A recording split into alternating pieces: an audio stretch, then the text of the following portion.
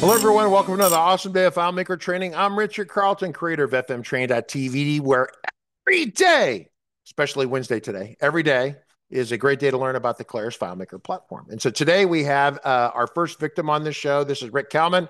Rick Kalman has held a lot of hats at Claris. He, are you like the chief evangelist now? Is that what your title is? Just, that's not my. Uh, it's just the platform evangelist, uh, primarily platform. focusing on on FileMaker, but so you're you're only allowed to tell us the good things and not the bad things about the platform. Is that is that the way that works? I'll tell you the truth about it. Ooh, that's going to get you in trouble at headquarters. so Rick is here today because well, let me just let me just tee this up. Rick, why are you here and why should we care? I am here because this morning we did release uh, some updates for FileMaker Pro and FileMaker Go. And if you were here last week uh, on this day, I came on and talked about the two server updates we did um, FileMaker Server 22.02 and 21.16 with some security updates and some other in market fixes. Uh, and so, uh, since we released again today, I'm here to talk about it. Cool. Yeah. So last week were some server updates. I think there's some really important server updates in there. Once again, I would not just arbitrarily do it. I would make sure that you find who your server administrator is, person, and coordinate with them on the update just because you don't want to run an update and have it uh, break your server on you. And I'm not saying it will. I'm just saying, in general, if you have a mission critical business application, be thoughtful about it. However, there are some important bug fixes in there, including some internet security vulnerabilities like the big ones that people talk about. Those were patched in there. So it's an important patch to have. That was last week. Claris doesn't always give us all the product updates on one pass. They're giving it to us when they have them completed. So today is the day when Pro and Go are completed, right?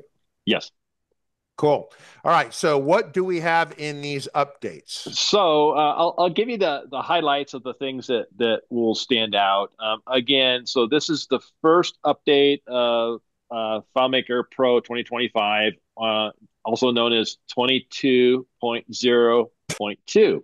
We're also updating FileMaker Go, but we're also updating FileMaker Pro uh, 21.1.2. And the reason we're doing both of those has to do with probably the the thing that has irritated folks the most is with this release you will be able to install multiple versions of FileMaker Pro on Windows again.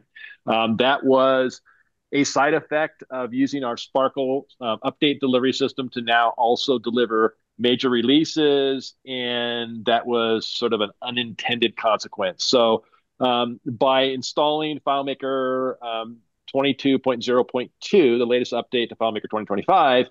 Um, and uh, if you're still running 21 and you want them to mix on a machine, running the updater for FileMaker Pro 21.1.2, you will now again be able to have multiple versions on on the same machine, uh, and it'll it'll make it easier also for um, um, server admins um, or not or excuse me IS admins to to administer the update without having to go around and touch every desktop and that sort of thing. So that's probably the biggest one, but there we're also addressing other in-market issues. For instance, uh, some of the things that we've seen since we launched, and we certainly see them on the community, is conditional formatting um, when there was empty values and with placeholder text. Um, it was doing some wonky things there, so we addressed that. Um, uh, we have a, had a couple of um, new uh, scripts that uh, could lead to crashes that we fix those. One is with the um, uh, generate response from model. Sometimes would quit unexpectedly um, when you were streaming um, and, and, performing a JavaScript um, web viewer um, with that option turned on. So that was a crash. And then there was a, uh, a, a crash when you had we're using go to list of record script step um, uh, when you provided a list and it had strings that had values um, in certain positions that could cause it to crash. So we addressed hmm. those. Um, there was an irritating issue with um, in product notifications coming up every time you launch FileMaker Pro. We knocked that one down. FileMaker. I, I saw that one. That was like, yeah, what the yes. hell? No, that happened. I just got a. It just popped up in our company Slack. Hilariously, I will go tell Christian to update to FileMaker 22.0.2. And um, for Go, um, essentially, it's just some cleanup. Um, the help and the registration URLs were pointing to the to the old version, so now it points to the to the new version. Um, and then, like I said, FileMaker Pro 21.1.2 is just necessary in order to be, have them coexist on the same Windows machine. The release notes go into pretty sig- uh, significant details on those because there's a, a, a, lot of uh, uh, details um, there as well. Um, uh, for the FileMaker Pro 21.1, um, it related to the Sparkle updater. Um, there was this thing where it would display blank release notes, and and uh, a number of the option buttons there were you know were were, were wonky as well. Um, and, and when you were trying to you know say never check for updates, and so we fixed that as well on that side. So that's, those good. are the highlights. Yeah, yeah, and and the and a lot of this has been very welcome, but the biggest one that's in fact it burned me yesterday because I was here updating a Windows computer and it said you'd like to install FileMaker 22. You're going to have to uninstall every other copy of FileMaker ever. So I had to uninstall four copies of FileMaker to get 22 installed. Now, if I'd waited a whole day, I would be able to do that and it preserved my old copy. So, um, yeah, so it's it's a good thing with. Did you pay attention to my product, uh, my uh, partner announcement on Friday? No, Maybe he, you were flying. He was having a bad day yesterday. I was considering reminding him, but I was just like, you know.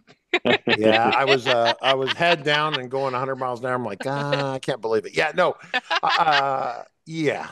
So, um, yeah. Anyway, so cool. Well, uh, that's a good update. So Claris continues to update its product plans.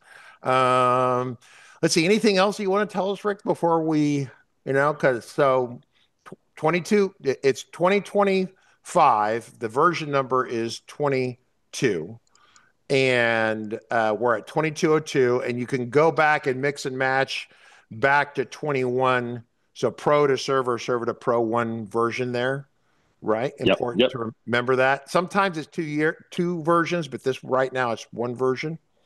Um, what else? Anything else? Anything yeah, else? I do have one more thing now that you're reminding me is even though I will be on vacation and not here next week, um, we do anticipate, but I'm not 100% sure. Um, FileMaker Cloud 2025 should be coming out next week. Um, mm. The only thing I'm saying 100% not sure is we would push it out on a Thursday, but we have Labor Day coming up. Um, we have people in EMEA um, uh, who may still be uh, away and on vacation. And when we update FileMaker um, Cloud, there um, it changes the versions that are supported. So we don't want people's not be there, and then there's a change underneath them, and then they've got angry customers. So we may end up pushing that out after Labor Day. Not sure yet. We're still trying to talk about it. Now, let me ask a technical question about this and if, see if you know the answer to this. My understanding historically has been that FileMaker Claris would not push out a FileMaker a FileMaker Cloud update unless like 80% of the users are using or 90% were using a compatible version of a client like Pro or Go. Do you remember anything about that? Because I do remember uh, that, but I don't have any details on the the, the numbers uh, this time around. But it is something we have to take into consideration um, because um, we support you know the the two versions. But as you update the version, those two versions change. Right. Yeah, so, yeah. Um, and what we don't want is someone using an older version and all of a sudden it doesn't work. Right. Um, on the client side, obviously. Um, yeah. Yeah. Yeah. So, uh, yeah. So we'll send out a, a, a, notice to people. So it could be that it comes right after Labor Day rather than before. Probably the prudent thing is not to do it before Labor Day, before a three day weekend, and you do it on a Thursday. Um, but but we'll see. Sometimes these things just take on a life of their own, and, and it already wants to come out. Right. right. Right. Right. Well, I, I'm frequently reminded that I am not in charge, and neither are you, Rick Kalman. We are both at the bottom of the food chain, so we are just here. Uh, trying to herd herd the cats as we go. So yeah, so ideally you never have a major product launch right before everyone goes on vacation. I have a rule about that with engineers. No big customer launches and then the next day they go on vacation because things promptly melt and explode. If you're a FileMaker developer, you know this to be true. If you're not a FileMaker developer, you have no idea what I'm talking about. But take it from me. So uh, good, good. So then that's cloud, and then I think uh, engineer Margaret was engineering going to come on the show and talk about that a little bit. Yes.